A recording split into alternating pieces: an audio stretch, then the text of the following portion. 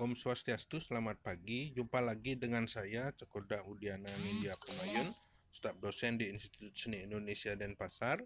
Ya, hari ini saya akan melanjutkan sketsa menyelesaikan sketsa dari uh, wajah dengan teknik uh, satu arah ya. Nah, satu arah yang dimaksud itu adalah goresannya adalah satu arah begini ya.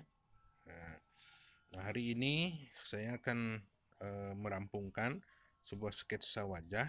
Itu adalah sketsa wajah ibu saya sendiri yaitu Cok Mas Astiti ya. Cok Mas Astiti. Ini saya akan menyelesaikannya di uh, bagian akhir ini ya. Ini adalah proses penyelesaian. Nah teknik satu arah ini jarang sekali diterapkan oleh mahasiswa-mahasiswa seni ya. Mudah-mudahan tujuan konten saya ini dapat bermanfaat dan dapat dicoba oleh mahasiswa ketika membuat sketsa satu arah ya. Nah hal-hal yang diperhatikan dalam sketsa goresan satu arah dengan drawing pensil ini itu adalah sebuah talenta keterampilan ya yang mesti harus dicoba pada saat e, masih dalam studi ya. Dalam studi. Nah di sini di bagian mata ini harusnya ada di ada penekanan sedikit ya. Di sini ada penekanan ya kemudian tekanan di sini juga ya. Nah kemudian nah penyelesaian ini hal yang terpenting adalah namanya titik hidup ya. Titik hidup itu ada di titik mata kemudian di garis hidung ini ya sama di ujung bibir. Ya ujung bibir. Nah kemudian kesemuanya ini itu adalah namanya eh, titik hidup ketika mulai proses penyelesaian sebuah gambar ya. Nah, bisa diperhatikan uh, sketsa saya ini ini adalah satu arah ya.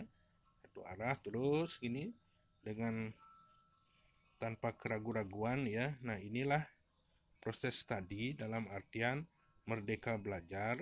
Jadi seharus ditunjukkan cara-cara dan proses atau teknik atau metode dalam penyelesaian sebuah sketsa ya.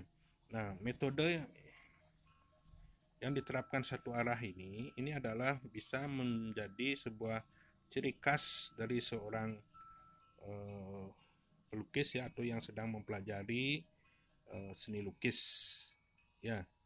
Nah, di perguruan tinggi ini harus dicoba oleh para mahasiswa atau yang uh, apa namanya yang sedang muncul talenta seninya atau bakat seninya itu dapat dicoba ya.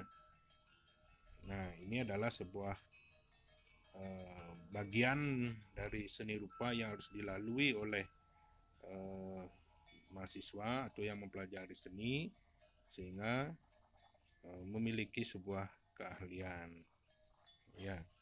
Nah ini adalah di bagian rambut ya bagian rambut. Jadi dia digores seperti ini ya. Nah, ini ya nah kemudian di titik-titik ini kuping ini ada detail lagi ya. Nah dengan satu alat pensil ya kebetulan pensil yang saya pakai ini adalah Faber Castell ya. Nah di sinilah perlu sebuah edukasi pengembangan dan mencoba sebuah talenta ya untuk menyelesaikan sebuah uh, keterampilan yang atau bakat yang kita miliki tujuan konten ini adalah untuk pendidikan pendidikan seni rupa khususnya dalam proses uh, drawing pensil dengan teknik satu arah. Baik, demikianlah yang bisa saya sampaikan. Mudah-mudahan uh, konten ini dapat mengedukasi para seniman atau edukasi bagi mahasiswa untuk berani mencoba dan uh, menerapkannya sehingga memiliki sebuah karya yang baik. Demikian dari saya, mudah-mudahan bermanfaat. Saya tutup dengan Prama Santi, Om Santi Santi Santi Santi. Om.